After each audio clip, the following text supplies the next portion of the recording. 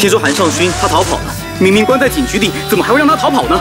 好久不见啊，吴彦珠，都是因为你一直在乱画，不然我老早就把江哲给干掉了。请你不要杀我。你是江哲的家人，除掉你就是我存在的理由。谁叫你要戴那个结婚戒指了？你以为会有圆满的结局吗？刚刚在这里的女人，她怎么了？周一至周五晚间十点到十二点，贝朵娜粉钻瓶 W 两个世界。